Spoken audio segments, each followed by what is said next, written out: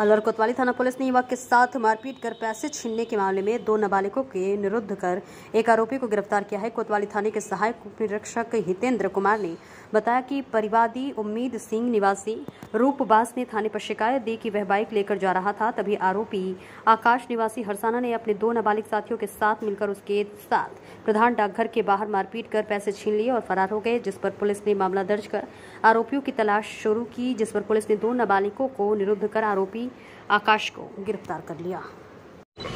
ये दिनांक चार की रात्रि को, चार पाँच दो, नौ दो हज़ार तेईस की रात्रि को एक व्यक्ति जो अस्पताल से अपने घर जा रहा था, रास्ते में तीन लड़कों ने मिलकर के उनके साथ मारपीट की। इस संबंध में मुकदमा दर्ज हुआ। अनुसंधान से तीनों लड़कों को दस्ताब किया गया, जिसमें से दो व्यक्ति नाबालिग किशोर थे, जिनको नियमानुसार उनका अनुसंधान किया जाकर माननीय न्यायालय के समक्ष पेश किया गया।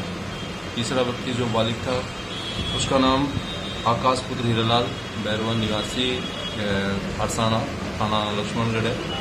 जिसके अपराध प्रमाणित पाए जाने पर माननीय कोर्ट में पेश किया जिन्होंने जिसी के आदेश फरमाए।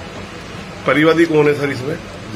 उम्मीद पुत्र पूर्णमल गुजर निवासी रूपबास किस लिए मारपीट करी है इन्होंने इन्होंने रास्ते में रोक करके मारपीट की है पैसे छीने लूट उट की है कौन सी जगह हुई है सर ये?